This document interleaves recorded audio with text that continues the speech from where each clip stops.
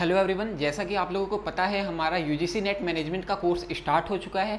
सो so, आज हम organisation behaviour के कुछ क्वेश्चंस का क्विज अटैम्प्ट करके देखेंगे कि कैसे हमें क्विजेस को अटैम्प्ट करना है सो so दैट आपको एक आइडिया मिल जाए आप हमारी वेबसाइट पर जाकर लॉगिन करके हमारे क्विजेस अटैम्प्ट कर पाएँ। तो चलिए हम एक एक करके क्विजेस को अटैम्प्ट करते हैं और देखते हैं इसके टेक्निक्स क्या हैं। अगर आपको इससे रिलेटेड और वीडियोज़ चाहिए तो आप हमारे चैनल को सब्सक्राइब कर सकते हैं। आपको यूजीसी नेट मैनेजमेंट से रिलेटेड बाकी और वीडियोज़ मिलती रहेंगी रेगुलरली चलिए एक एक करके स्टार्ट करते हैं।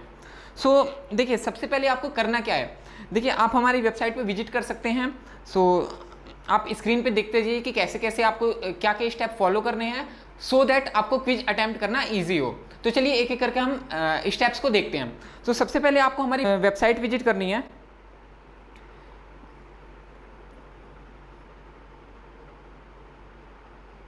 देखिए सबसे पहले वेबसाइट पे गए। वेबसाइट पे जाने के बाद आपको यहाँ पर जाना है क्विज के सेक्शन में जहाँ पे आपको यूजीसी नेट मिलेगा। आप यूजीसी नेट पे जाने के बाद आपको यहाँ पे स्टार्ट क्विज करना है। यहाँ से आप बिगिन कर सकते हैं। देखिए यहाँ पे जो आपको टाइमिंग दिखाया गया है ये आपको 12,000 सेकेंड्स का दिखाया गया है।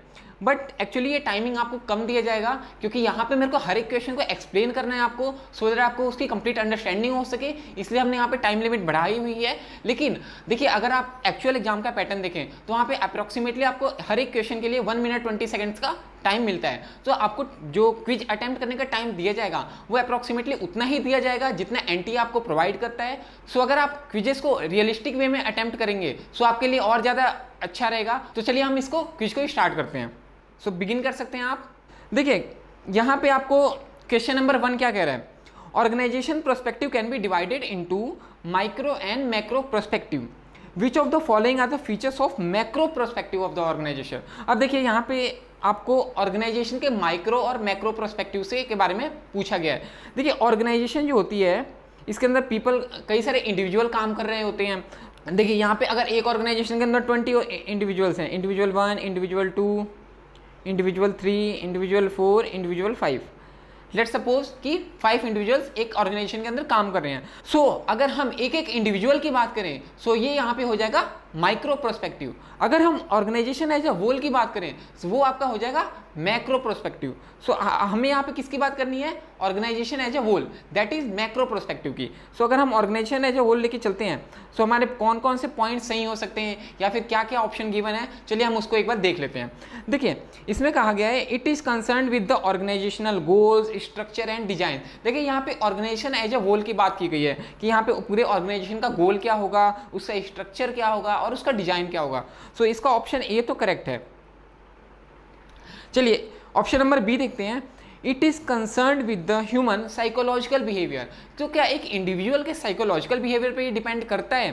तो देखिए, यहाँ पे ऑर्गेनाइजेशन एज अ होल की बात हो रही है सो यहाँ पे एक इंडिविजुअल के साइकोलॉजिकल बिहेवियर दैट इज़ एक पर्टिकुलर पर्सन के इंडिविजुअल बिहेवियर को हम लेकर नहीं चलेंगे। सो यहाँ पे जो आपका बी ऑप्शन है, ये इनकरेक्ट है।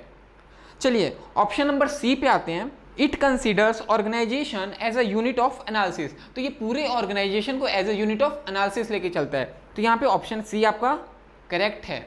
चलिए ऑप्शन नंबर डी पे आते हैं।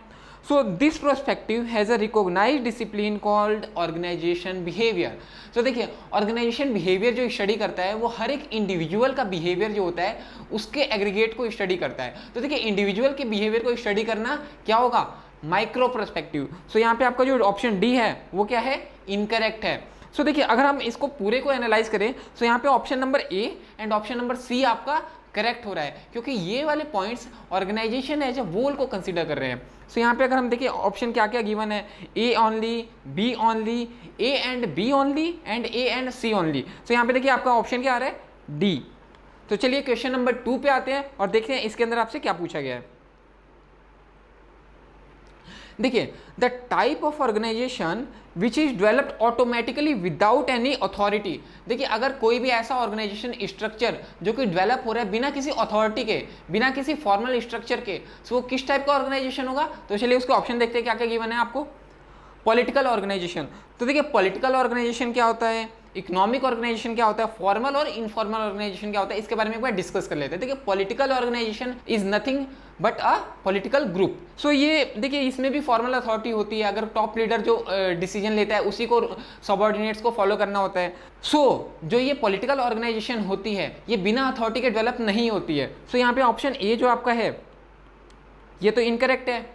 चलिए ऑप्शन नंबर टू देखते हैं. दैट इज़ इकोनॉमिक ऑर्गेनाइजेशन देखिए, अगर इकोनॉमिक ऑर्गेनाइजेशन की बात करें तो ये पूरे कंट्री एज ए होल या फिर वर्ल्ड पूरे पूरे एक जोग्राफिकल एरिया को कवर करता है. जैसे कि इकोनॉमिक ऑर्गेनाइजेशन के अंदर आपका आ जाएगा ब्रिक्स अगर आप ब्रिक्स की बात करें तो ब्रिक्स के अंदर पाँच कंट्रीज़ आती हैं. सो so, ये एक इकोनॉमिक ऑर्गेनाइजेशन है. सो so, इसके अंदर भी अथॉरिटी होती है. सो so, यहाँ पे आपका बी ऑप्शन भी करेक्ट नहीं है. सो so, अगर आप ए को देखें तो ए ऑप्शन आपका करेक्ट नहीं है. अगर बी की बात करें तो बी भी करेक्ट नहीं है। अगर हम सी पे आते हैं फॉर्मल ऑर्गेनाइजेशन देखिए फॉर्मल ऑर्गेनाइजेशन जो होता है उसके बारे में तो आपको पता ही होगा कि जहाँ टॉप मैनेजमेंट होता है वो डायरेक्शन देते हैं मिडल मैनेजमेंट को और मिडल मैनेजमेंट डायरेक्शन देते हैं वर्कर्स को। सो so, वर्कर उनके ऑर्डर्स को फॉलो करते हैं। सो so, यहाँ पे फॉर्मल ऑर्गेनाइजेशन भी नहीं होगा। सो so, अगर हम इनफॉर्मल पे आए इनफॉर्मल होता है बिना किसी अथॉरिटी के ग्रेप वाइन चेन जैसे कि किसी भी दो डिपार्टमेंट के दो वर्कर्स आपस में कम्युनिकेट कर रहे हैं और उन्होंने कम्युनिकेट करते करते एक अलग ही ऑर्गेनाइजेशन डेवलप कर लिया आपस में कंसेंसस के साथ। सो so, वो किस टाइप का ऑर्गेनाइजेशन होगा? इनफॉर्मल ऑर्गेनाइजेशन तो चलिए इसका ऑप्शन क्या होगा आपका? डी क्वेश्चन नंबर थ्री पे आते हैं। सो यहाँ पे आपसे क्या कहा गया है? Luther Gulick divided the management function into eight major groups and coined a eight letter word what is the full form of the seventh letter of that word देखिए ल्यूथर गुलिक ने मैनेजमेंट को eight letter words में अंदर divide किया था। तो वो word क्या था?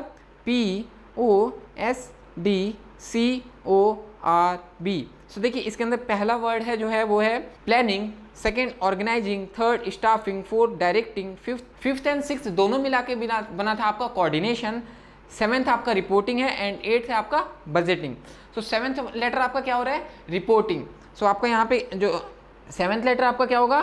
रिपोर्टिंग चलिए क्वेश्चन नंबर फोर पे आते हैं और इसके अंदर देखते हैं कि आंसर क्या हो सकता है? देखिए productivity of newly employed workers are not good as compared with the productivity of earlier workers. Can you explain which of the management function are not done properly here?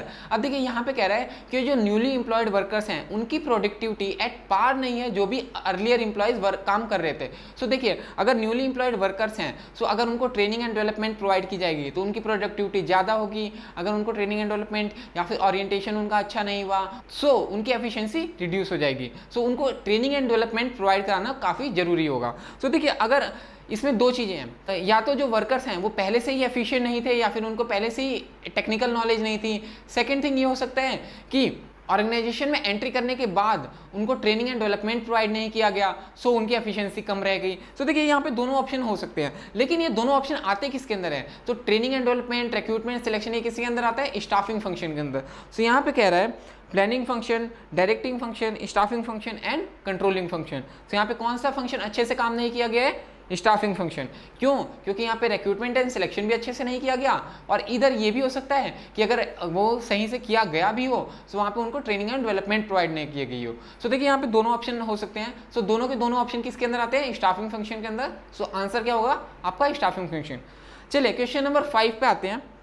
सो देखिए, यहाँ पे पूछा गया आपसे directing function is one of the important function of the management function explain which of the functions are included in the function of directing तो देखिए यहाँ पे आपको चार ऑप्शन दिए गए हैं। तो पहला ऑप्शन क्या कह रहा है? Measuring performance of person with with in the organisation by comparing against the predefined standards and taking corrective actions अब देखिए यहाँ पे कोई प्री डिफाइंड स्टैंडर्ड बनाना उसके बेसिस पे करेक्टिव एक्शंस लेना मेजर करना परफॉर्मेंस को ये सारे के सारे किसके अंदर आते हैं? कंट्रोलिंग फ़ंक्शन के अंदर। पहले का कंक्लूजन uh, क्या निकल रहा है? कंट्रोलिंग बी देख लेते हैं। Giving instructions and providing leadership and activities dealing with the influencing guiding supervising and motivating subordinates so देखिए instructions देना instructions देने का मतलब ही क्या आ गया यहाँ पे directing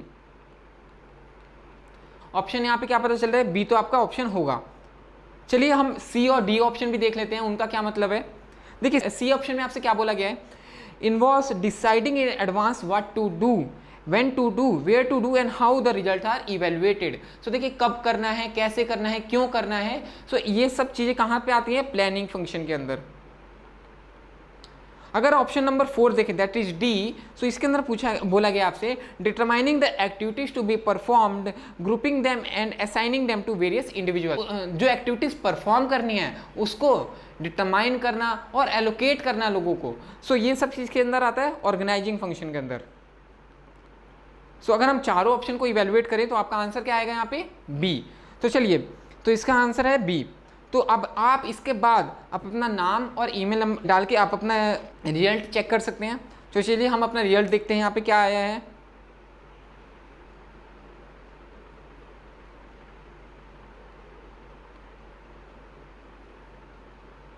देखिए पहला ऑप्शन करेक्ट था सेकंड ऑप्शन करेक्ट है थर्ड ऑप्शन करेक्ट है फोर्थ ऑप्शन करेक्ट है एंड फिफ्थ ऑप्शन करेक्ट है। सो so, देखिए हमने आपको इसी तरीके से सारे क्विज अटैम्प्ट करने हैं। इस तरीके से आपको मॉक्स प्रोवाइड किए जाएँगे प्रैक्टिस सेट प्रोवाइड किए जाएँगे और मटेरियल भी इसी तरीके का आपको प्रोवाइड किया जाएगा जिसके थ्रू आप इजिली आपको घर बैठे इसकी आप यूजीसी नेट मैनेजमेंट की प्रिपरेशन कर सके।